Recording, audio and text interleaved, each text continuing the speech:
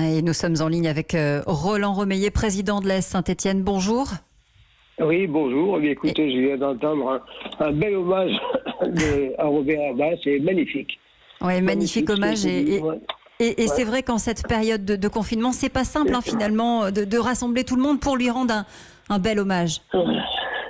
Bah, écoutez, euh, effectivement, euh, d'abord, moi c'est avec euh, une immense peine que que j'ai appris le, décès de Robert Herbin hier. J'ai très mal dormi. voilà.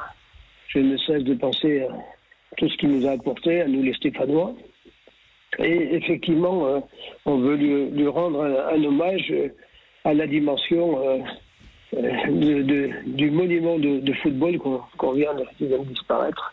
C'est-à-dire, vous allez faire quoi? Vous avez déjà pensé à quelque chose pour, pour lui rendre hommage? oui, oui, parce que si vous voulez, bon, dès que mardi passé, les gendarmes m'ont appelé pour, pour le, le mener enfin, à, l'hôpital.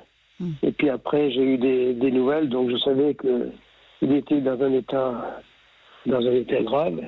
Donc, euh, je m'attendais à ce qu'il perde ce, combat-là. Il en avait gagné beaucoup, mais celui-là, qui était difficile.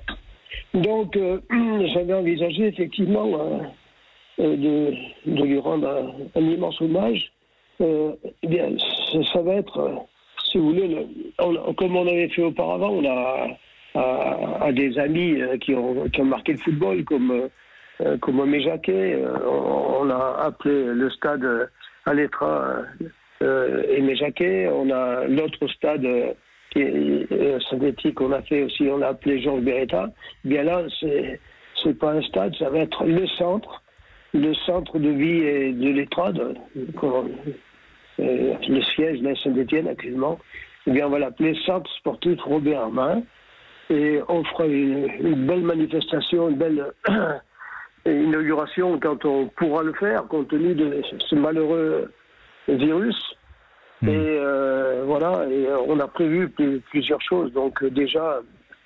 Mais déjà, en tout cas, cette, cette, ce baptême pour ce centre est absolument merveilleux. C'est une très belle façon de, rendre hommage à Robert Herbin. Merci beaucoup Roland Romeillet, président de l'AS Saint-Étienne. On sent votre émotion. Merci de l'avoir partagé avec nous.